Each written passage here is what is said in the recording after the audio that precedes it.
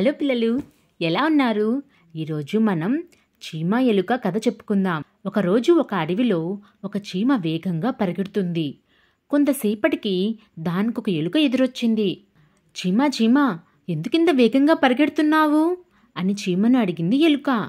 అక్కడొక పెద్ద జంతువు ఉంది. నాకన్నా చాలా పెద్దది. అది నన్ను తినేస్తుందేమోనని పరిగెడుతున్నాను అంది చీమ. అయితే అది నన్ను కూడా తినేస్తుందేమో. నేను నీతో పాటే పరిగెడతాను అంటూ ఎలుక కూడా పరుగు ప్రారంభించింది.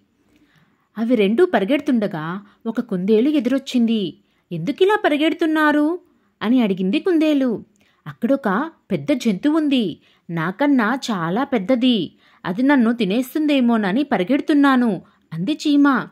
అవునవును అంది ఎలుక. దాంతో భయంతో కుందేలు కూడా వాటితో పాటు పరుగుపెట్టింది కొంత దూరం వెళ్ళగానే వాటికొక నక్క ఎదురొచ్చింది.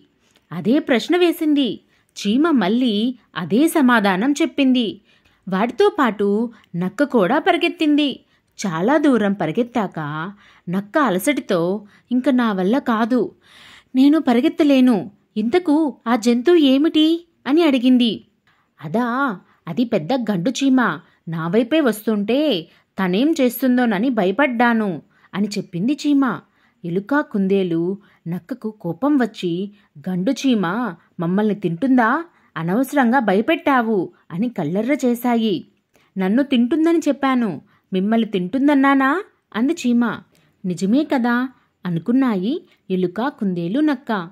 పిల్లలు ఈ కథ ద్వారా మీరేం తెలుసుకున్నారు? ఇతరులు ఎందుకు భయపడుతున్నారో తెలియకుండానే మనం కూడా భయపడ్డం అవివేకం. ఈ కథ మీకు నచ్చిందా? అయితే వీడియోని లైక్ చేయండి. ఇలాంటి మంచి మంచి కథల కోసం ఛానల్ని సబ్స్క్రైబ్ చేసుకోండి.